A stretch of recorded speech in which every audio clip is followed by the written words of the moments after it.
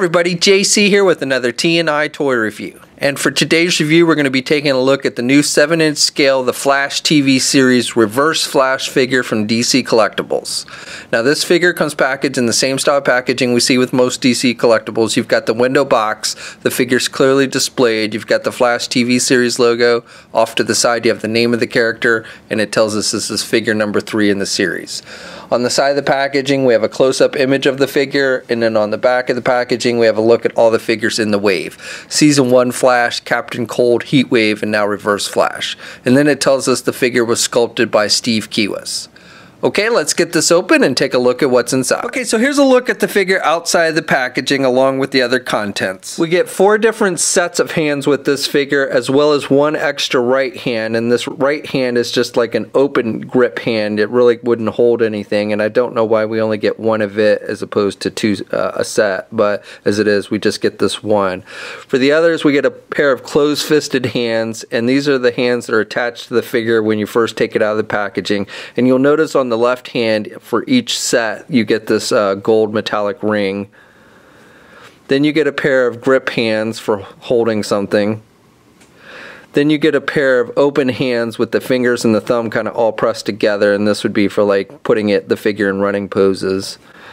And then you get a pair of hands that are open but the fingers and the thumb are more spread apart. Switch the hands out, you just pull out the hand you want to replace and the hand's got the little peg on it and then you plug in the hand you want to put in and it should just go right in and it fits nice and tight. Besides the hands, we also get this chest harness, which you see used by Wells in the TV series, and I believe this is what he technically uses to tap into the Speed Force. You also see Barry wear this in the episode where he with with the Supergirl crossover. I think he used it to boost his Speed Force so he could jump different universes. And it's done with a metallic silver, and then you've got this black circle towards the middle with some gold highlighted metallic gold paint, and then the middle is just open, and you got these little points that kind of of stick out in the middle. Now this thing doesn't really clamp onto the figure. You can kind of sit it on there, but it's not going to stay on there tight. So just be wary of that. So for the figure itself, this is the exact same figure that we got. This figure was released in a DVD exclusive set that was available on Amazon.com. I reviewed this figure a few months ago, but it is the same figure. The paint applications are a little different. The biggest difference between the two is with the eyes. You can see on this uh, DVD version, the eyes are red, and then we just have regular eyes with this with this new one. The skin tone is a little paler on this uh, new one than on on the DVD version. And then the yellow, like the yellow on his costume, isn't quite as bright. Same with the red on his chest emblem. The wash effect is pretty similar, pretty close to the same between the two figures. And then you've got the red striping, and this is the same on both figures that comes throughout the costume. And then you've got the little red marks on his boots. And his boots are basically just black.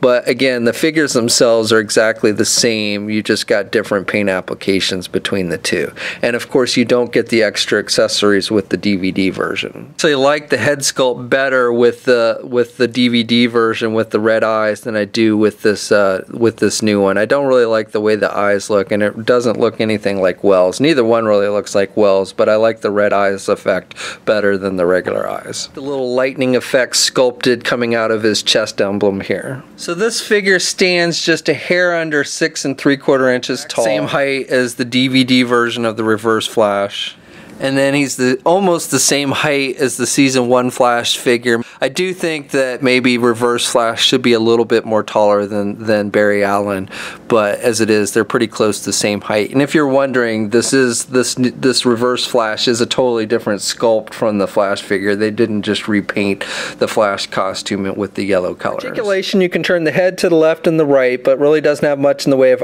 back or forth movement with the head. You can get the arm out good, and it's got good rotation there there.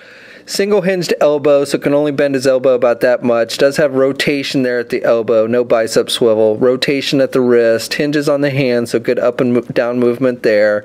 He does have a, a midsection joint, so he can rotate there. Really doesn't have much in the way of crunch, really no crunch at all, and can look back a little bit, but not very much. Does also have a waist swivel. Legs are attached with ball joints, so can do the splits about that much. Can get the leg forward only about that much, and then can do the leg back about that much much. Has a thigh swivel, double jointed knee, so good bending at the knee. Has a boot cuff swivel, hinges on the feet, so up and down movement and rotation, and a little bit of pivot there. You, you do have some pivot, and then one peg hole on the bottom of the feet.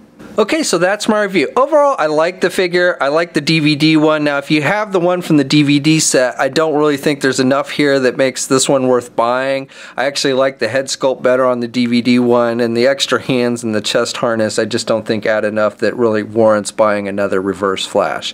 But if you didn't pick that one up, then I think you'll definitely want to add this to your collection if you've been collecting the DC Collectible TV series figures. So this figure is hitting comic and specialty shops now. We'll have a full gallery of images up at toynewsi.com. There's a link in the video description below. As always, leave a comment. Let us know what you think. If you're so inclined, please like the video. Also, if you haven't already, please follow me on my Facebook and or Twitter pages. I'll have links to those in the video description as well. And until next time, I'll catch you later.